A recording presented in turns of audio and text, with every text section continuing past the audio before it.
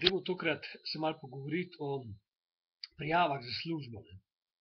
Recimo, da vam pač rata izmed 5000 prošenj, ki ste jih poslali, ne, da pač odgovorijo. Ne. Kar je itak čudež, ker je večina teh prošenj poslanih v luft, da se oni tam z njimi ritu brišejo, ne. Ampak dobro je. Zdaj vam odgovorijo in vas povabijo na razgovor.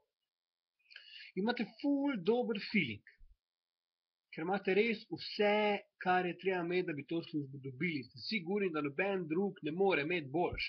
Razen, če se bi prijavil Superman ali pa en drekač, ko ima veze, ne? ko je polizo pičko šefici ali pa ko ga je pofafu šefu, samo zato, da je prišel not. Ne? Ali pa ko ima ateka, ko ga bo spravil not po fucking job. Poglej, vi imate v, nula, v nulo zrihtane reference in ste res najboljši kandidat to ne govorim zdaj kot bullshit, kao da vsak za sebe misli, da je dober, ampak da imate res dobre reference in ste 100%, da boste dobili službo. Pa pol te službe ne dobite, ker so vzeli nekoga drugega. Vi sicer nimate pojma, koga so vzeli, ampak očitno so vzeli fucking supermana. Ali pa drekača, ki je lizo pičko, samo zato, da je prišel not. In tu se vprašam zdaj, ne, ali je sploh smiselno pošiljati prošle in hoditi na razgovore, če nimaš vez, ker če nimaš vez, itak nimaš kaj narediti v Sloveniji.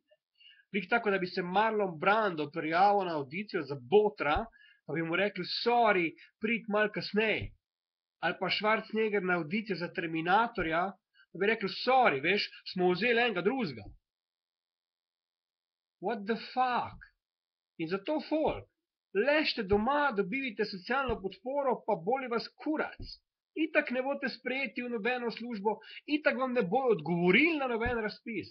Če vam pa bojo odgovorili, pa vas povabili na razgovor, pa ne boste dobili službe, ker bo vedno en drekač prek vrste skočil.